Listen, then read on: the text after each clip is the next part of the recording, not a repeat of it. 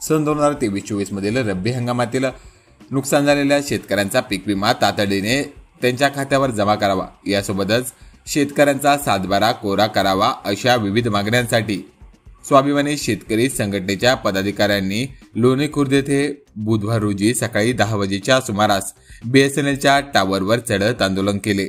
यावेळी शेतकऱ्यांच्या मागण्या तातडीने मान्य करावा अशी मागणी आंदोलकांकडून करण्यात येत आहे. नमस्कार शेतकरी भावांनो. आम्ही वैजापूर तालुक्यामध्ये लोणी खुर्द या गावी बी एस एन एल टावरवर आलो आहे आणि आमच्या मागण्या शेतकऱ्यांच्या मागण्या आहे.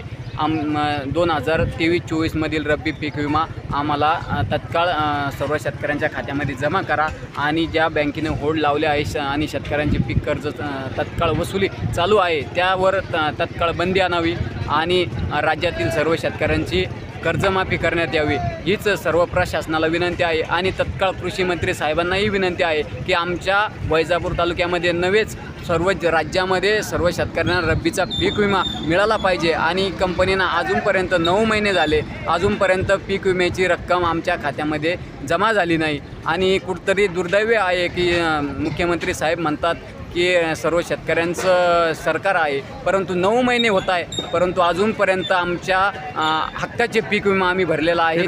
त्यामध्ये पीक विमा आम्हाला कंपनी मिळ देत नाही आहे